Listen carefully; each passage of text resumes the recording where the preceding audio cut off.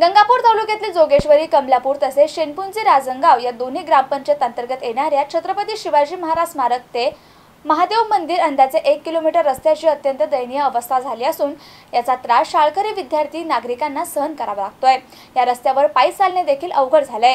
या रस्त्याचे एक सिमेंट कॉन्क्रिटीकरणाचे काम येत्या पंधरा दिवसात मार्गी न लावल्यास जिल्हा परिषद कार्यालयासमोर अर्धनग्न आंदोलन करण्यात येणार असल्याचा इशारा प्रहार जनशक्ती पक्षाच्या वतीने जिल्हा परिषदेस देण्यात आलेल्या निवेदनात देण्यात आलाय. या एक किलोमीटर रस्त्याचे मजबूतीकरणाचं काम तीन वर्षापासून झालं होतं परंतु काम अतिशय निकृष्ट दर्जाचं झाल्यामुळे रस्ता पूर्णपणे उखडलाय. या रस्त्यावरून दोन्ही ग्रामपंचायतीच्या नागरिकांचा दळणवळणाचा एकमेव मुख्य मार्ग असून औद्योगिक वसाहत असल्याने या रस्त्यावर मोठ्या प्रमाणात रहदारी चालू असते. या रस्त्यावरून शाळेतील लहान मुले मुली यांना पायी चालणे कठीण झाले. रस्त्यावर दोन ते तीन फुटाचे गड्डे पडले असून पावसाळ्यात पाणी साचते. याबाबत प्रहार जनशक्ती पक्षाच्या वतीने जोगेश्वरी कमलापूर शेणपुंजी रांजणगाव या ग्रामपंचायतींना रस्ता सिमेंट काँक्रिटीकरण करावे म्हणून मागणी केली. परंतु या दोन्ही ग्रामपंचायती हात झटकत हा रस्ता आमचा नाही म्हणून टाळाटाळ करत असल्याने येत्या पंधरा दिवसात रस्त्याचं काम मार्गी न लावल्यास जिल्हा परिषदेसमोर अर्धनग्न आंदोलन करण्यात येणार असल्याचा इशारा प्रहार जनशक्ती पक्षाचे तालुका अध्यक्ष मुसा शेख कामगार आघाडीचे राजेंद्र कडू शिवाजी गायकवाड ज्ञानेश्वर तोडकर यांच्या वतीने निवेदनात देण्यात आलाय. Ibrahim Shaikh MCN news Gangapur. तालुक्यातील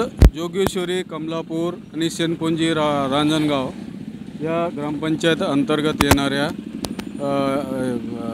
इथे एक किलोमीटर रस्त्या व्यवस्थित नसल्यामुळे इथे चिखलमय असल्यामुळे शाळकरी विद्यार्थ्यांना तसेच नागरिकांना मोठा त्रास सहन करावा लागत आहे. रस्ता काँक्रिटीकरण करावे म्हणून येथील ग्रामस्थांनी प्रहार जनशक्ती पक्षाच्या वतीने जिल्हा परिषदला निवेदन देण्यात आले.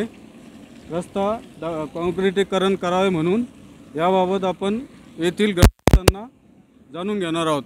या रस्त्याबाबत आप आपलं काय म्हणणं आहे? नमस्कार जयप्रार मी राजेंद्र कडू प्राजन शक्ती पक्ष कामगार जिल्हा कार्य अध्यक्ष म्हणून इथं काम बघतोय. गेली बरेच वर्षापूर्वी या रस्त्याचं सिमेंट डांबरीकरण झालं होतं. पण निष्कृष्ट दर्जाचं दर्जाचं का डांबरीकरण झाल्यामुळे या रस्त्याची जवळपास दे एक ते दीड वा दोन तीन चार वर्षामध्येच फार बिकट अवस्था झालेली आहे. अशी अवस्था झाली का जेणेकरून एका रेषेमध्ये या रस्त्याने माणूस चालू देखील शकत नाही. अशा कारणास्तव आम्ही सतरा आठ दोन हजार बावीस या दिवशी जिल्हा परिषद कार्यालयावर आम्ही निवेदन दिलं की या र- रस्त्याची तात्काळ दखल घेऊन या रस्ता आम्हाला कंक्रिटीकरण करून द्यावा.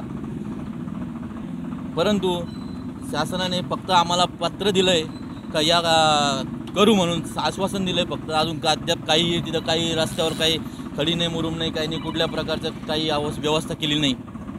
हा रस्ता शे शेनपुंजी रांजणगाव यांना विचारला असता ते म्हणतात आमच्या आधीत नाही. जोगेश्वरी ग्रामपंचायतला विचारला असता ते पण म्हणतात आमच्या आधीत नाही. त्याच्यामुळे शासनाने तात्काळ दखल घेऊन ह्या रस्ता मार्गी लावण्यात यावा. ही विनंती. ग्रामपंचायत या रस्त्याबाबत तिन्ही ग्रामपंचायत हात झटकत आहे. ते म्हणत आहे का आमच्याकडं नाही रस्ता. हाच तो रस्ता आहे. नेमकं हा रस्ता इत एवढा खराब झालेला आहे की वाहन चालवणे देखील अवघड झालेले आहे. त्याबाबत आपण दुसरे ग्रामस्थांना विचारणार होता नेमकं काय म्हणणार? काय काय म्हणणार रस्त्याबाबत? नेमकं काय म्हणणार? इथं काय सगळे लोकांचे हाल होऊ राहिले. बाया माणसाला सुद्धा चालता येत नाही. लहान लहान लेकरं मोटरसायकलवर जातात गा गाडीवरती पड बादाबत पडून राहिली. काय त्यांची हाल आहे? आज दवाखान्याचा खर्च कोण देणार आहे? त्यांना जर मोडतोड झाली तर. तुम्ही ग्रामपंचायतला काही मागणी केली का? अहो ग्रामपंचायतला किती वेळेस सांगितलेलं आहे लोकांनी आमच्या? भरपूर अर्ज सुद्धा केलेले आहेत. काय काय म्हणणं आहे काय त्यांचं? ते म्हणतं आमच्या हद्दीत नाही आहे. ते म्हणतं आमच्या हद्दीत नाही. मग हा रस्ता आहे कोणाच्या हद्दीत यांच्याकडून कामं होत नाही. काय उपयोग काय त्याचा? दोन्ही ग्रामपंचायत नाही म्हणते. बोला ना बोला ना. जोगेश्वरी आणि राजनगाव दोन्ही ग्रामपंचायत नाही म्हणते. रस्ता बनाला एक तर आम्हाला चालता येत नाही काहीच नाही.